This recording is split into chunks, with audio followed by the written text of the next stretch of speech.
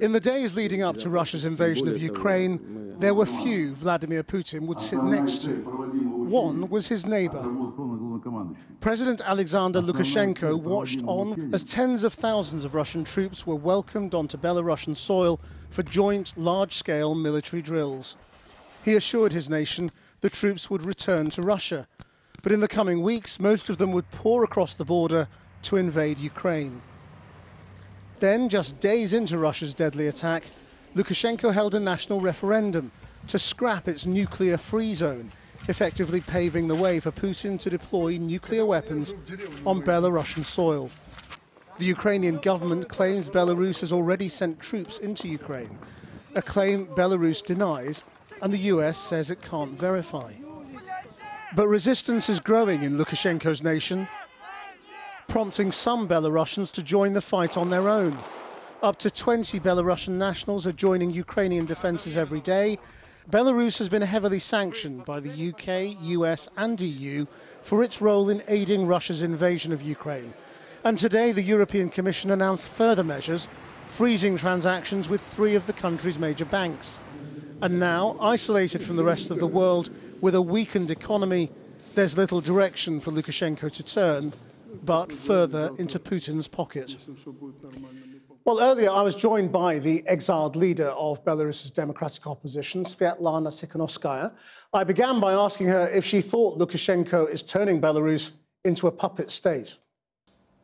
Absolutely. He is paying to Kremlin for the support of Lukashenko after fraudulent election 2020, and now he's giving our soil for uh, attacking uh, Russian troops attacking Ukraine. How do you feel seeing Russian troops invading Ukraine from your country?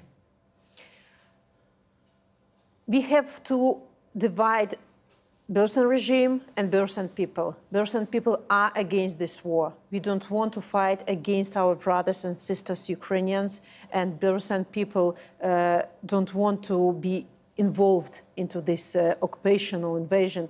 But because Lukashenko now is accomplice uh, of uh, of Kremlin, he uh, has to he's on the short leash. You know, he uh, has to fulfill what he's ordered, uh, and it's important to understand that it's not the will of Belarusian people to participate, and Belarusian people don't have to be punished because one person uh, uh, decided to be dragged into this war. But if, if this war grows um, and Belarusian troops are ordered to join this fight by Lukashenko, do you think they would do it? According to our inside information, uh, Belarusian troops uh, had to cross uh, Belarusian-Ukrainian border already last week, but they didn't do, they didn't do this, and I suppose it's because of massive uh, attack media attack on our soldiers. Uh, we ask them not to go on Ukrainian territory because they don't, we want, don't want our army to be enemies to Ukrainian people.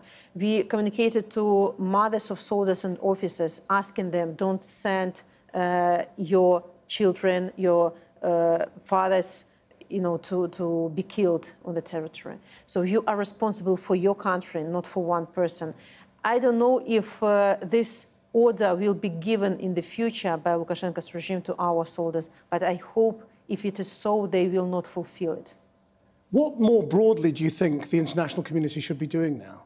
Should it be listening to the Ukrainian demands to close the skies?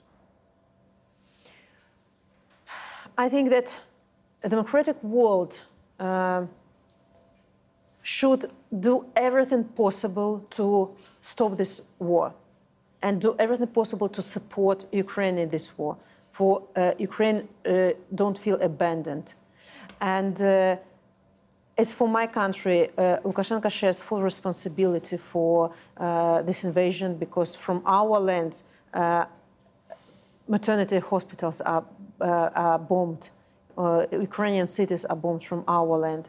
And I think that all the uh, sanction policy that is shown by the democratic world towards uh, Kremlin, it, uh, uh, Lukashenko should share. But just economic war, no, nothing beyond that.